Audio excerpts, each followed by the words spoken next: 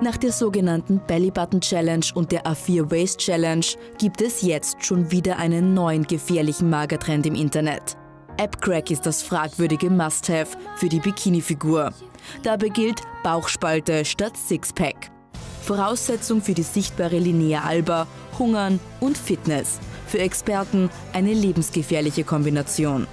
Körperlich, denke ich, geht es darum, dass es ja um Hungern und Diäten geht in Verbindung mit exzessivem Sport und der Körper eher auf eine Sparschaltung schaltet, wenn wir zu wenig essen. Aber Sparschaltung heißt ja, dass dann die Leistungen im Körper zurückgehen, zum Beispiel Herzkreislauf.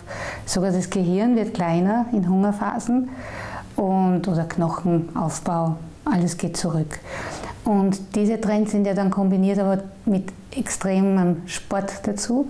Und das passt ja überhaupt nicht zusammen. Und dadurch äh, sind zum Beispiel Osteoporose, Knochenbrüche, Herz-Kreislauf-Probleme, alle diese Dinge ähm, sind natürlich sehr ungünstig.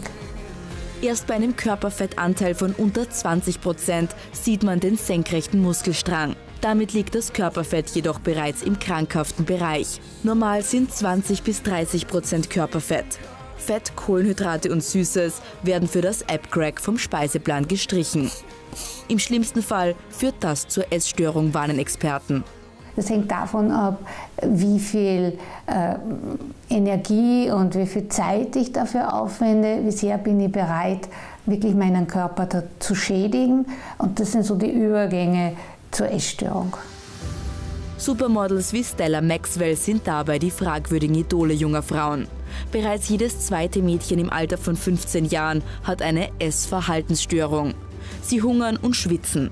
Der scheinbar perfekte Körper wird dann oft in einer virtuellen Gruppe gepostet.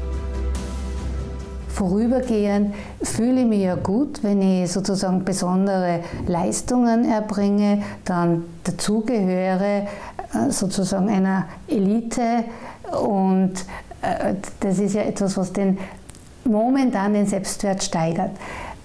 Dahinter aber wird der Selbstwert eigentlich schwächer, weil der Selbstwert wächst ja dann, wenn wir eigene Ziele haben und nicht, wenn wir etwas, was uns von außen vorgegeben wird, äh, besonders streng verfolgen. Das hat ja eher einen Aspekt von Sklaverei. Eigentlich sollen Fitnessroutinen und Diäten ein neues Körpergefühl vermitteln und das Selbstbewusstsein stärken. Doch noch nie wurden Schönheitsideale so aggressiv angepriesen und verglichen wie heute.